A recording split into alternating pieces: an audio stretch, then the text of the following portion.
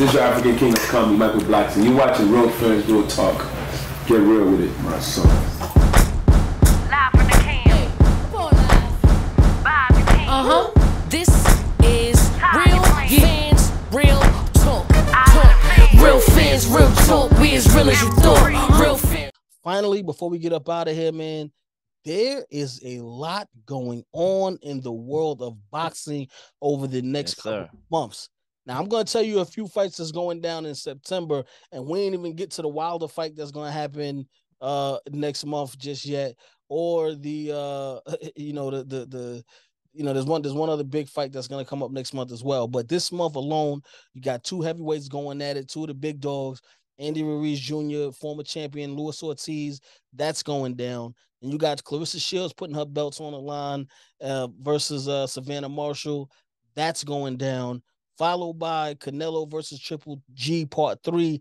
That's going down. And then just, you know, just to end things off with a bang, you got Devin Haney versus George Kambosos Jr. Which one of those four fights are you most looking forward to seeing? Definitely, this is easy for me. That would definitely be Andy Ruiz and Luis Ortiz. I know it's not the trendier pick. I know Triple G and Canelo got a heated rivalry. This is the third fight, clear trilogy, a lot of hatred. But I would say Andy Ruiz and Luis Ortiz just for the styles and the contrasting styles. You know, Mexican, Cuban. You know, they bring something to a table. And one thing about Ruiz, I start off with Ruiz, right? Before I go to Ortiz. Ruiz, I think, is a guy that he doesn't get credit for his adjustments that he makes in fights. You know, I understand not everything is perfect, but I seen him get up the canvas in the first Anthony Joshua fight where he got knocked down, ended up getting Joshua out of there.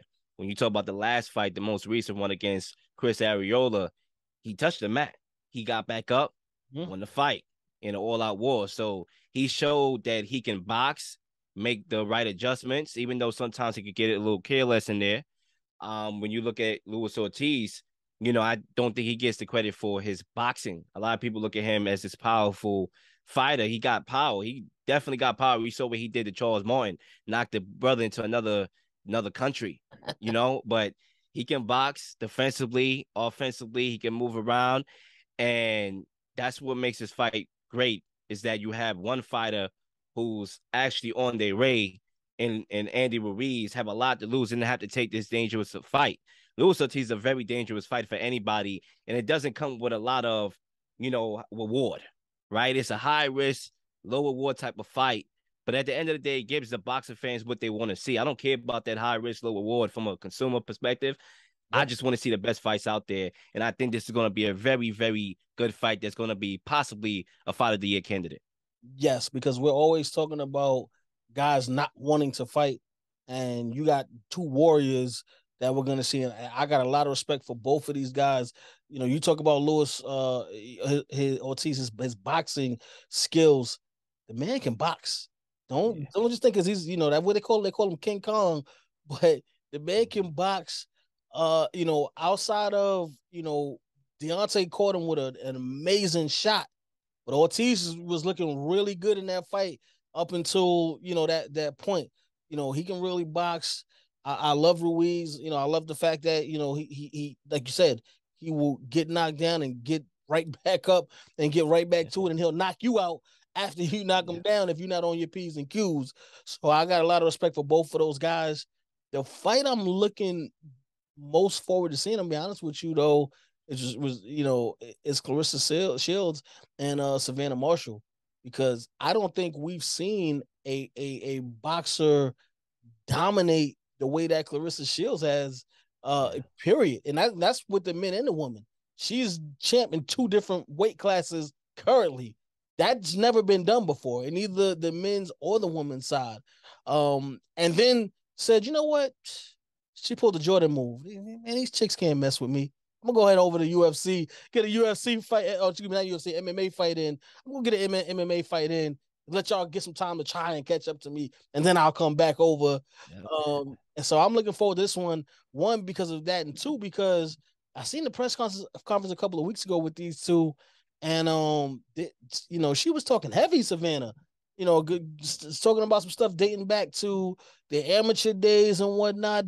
They were going at it. I so think she won. I think Savannah beat her in the amateurs, if I'm not mistaken. Yeah, so Mhm. I- it, it it made me when when I watched that press conference, um, I started thinking, what was the movie with uh with Damon Wayans? Oh man, um, with the Great White Hype You When talking about um? When they had to go back and get the boxer who's they was like, whoa, because they couldn't find nobody else to fight Damon Wayans. It was like as a pro, but who was the one guy that beat him as an amateur? So they go back and get the white guy to come back I know you talking about. I forgot the name. Right. I think it's the the Great White Hype. I think that's the name of the movie. Um, I, I, I'll I'll let you guys know um on next week's show if, if that's it, but I'm pretty sure that's that it's the Great White Hype. But that's how I feel with this one. When I seen him going back and forth, the talk was heavy, and Claressa Shields ain't letting nobody talk crazy to her. You got to show and prove in that ring. Amateurs, amateurs. But now we talking about the pros, and ain't there, there has not been the, the only female boxer who and and dominated like this um is Laila um Ali. But even she didn't have the resume, you know, obviously things are a little bit different now than than, than Laila's era, but she didn't have the resume that Claressa Shields has. But outside of that, Claressa Shields is is walking through any and everybody. And I'm really looking forward to uh to, to seeing this fight. Obviously, I mean, I think you guys could tell I'm going with Claressa Shields as the winner in this fight, but I think that's gonna be be a great fight. Um, the, with the in, in regards to the to, to the Triple G and Canelo fight, I'm looking forward to seeing it. But it's the third fight. We've seen it twice before, so if I'm just picking in in the order, that probably will be the last of the four because I got Devin Haney in the George Kambosos fight um as my second choice that I want to see Mm. and it, it's it's more so because I want to see what comes after this fight.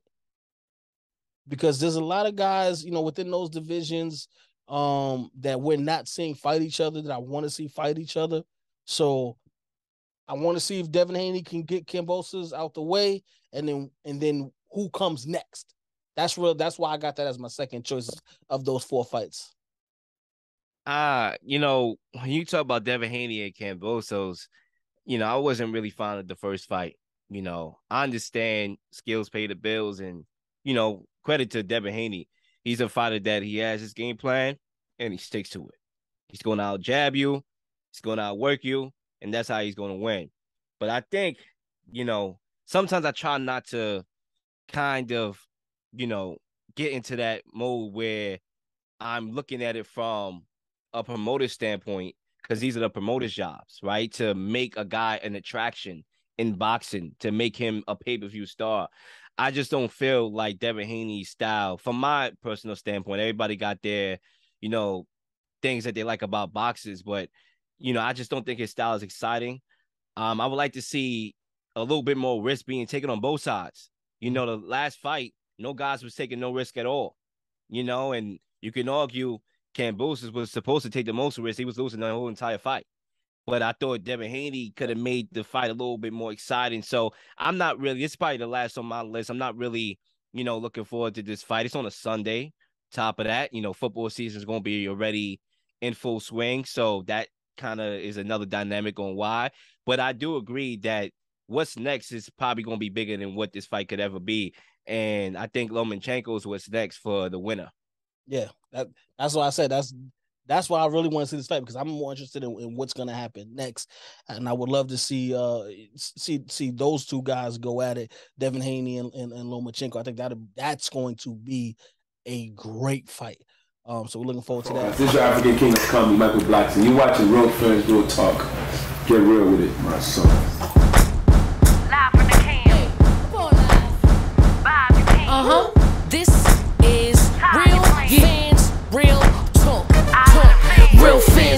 talk, we as real as you thought. Real